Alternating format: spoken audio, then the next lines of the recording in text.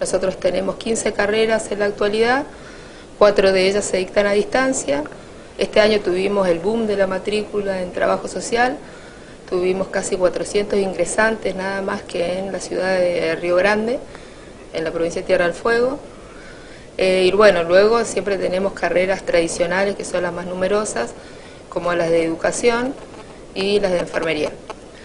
Eh, la verdad es que bueno, se ha desarrollado con normalidad la mayoría de la cursada, bueno, sabemos que el tema del paro y la realidad que vivimos actualmente en la provincia y en la localidad por ahí perjudican el normal desarrollo de las actividades, pero bueno, eh, se ha tratado de que eso eh, no afecte tanto las clases cotidianas, entonces bueno, la verdad que todavía se mantiene la matrícula y el ingreso y, las actividades normales de la unidad académica. Esta es una sede muy particular de la unidad de la Universidad de la Patagonia Austral porque involucra localidades que exceden las fronteras de la cuenca, es decir, Río Grande, Calafate. Sí, la verdad que sí. Nosotros, bueno, como te decía, tenemos eh, mucha cantidad de alumnos en Río Grande. Yo visité esa localidad la semana pasada, así que pude tener reuniones con diferentes grupos de alumnos que la verdad están muy entusiasmados.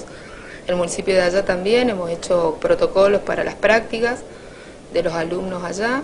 Y lo mismo sucede en Calafate, que tenemos que ir ahora a finalizar esos protocolos de práctica y también tenemos alumnos de trabajo social, de turismo y algunos alumnos de nivel inicial que están finalizando ya la carrera.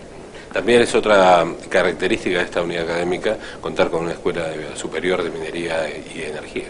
Exactamente, sí, la verdad es que estamos tratando de poder acercarnos a, diferentes, eh, tanto la, empresa como los diferentes colegios, para que puedan acercarse a utilizar los laboratorios de, la Escuela de Minería, se han hecho muchos proyectos y demás que hacen que, puedan concurrir aquí.